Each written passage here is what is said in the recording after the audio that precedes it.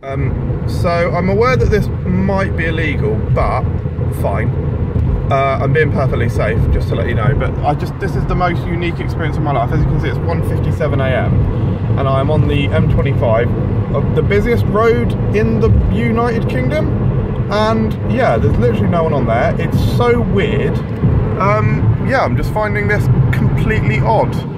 Um, yeah, unique. There's literally no one in front of me, no one behind me. This is fucking mental. Um, yeah. Anyway, as I say, you don't really want to be doing this, so I'm going to sign off now, but fucking hell. Weird.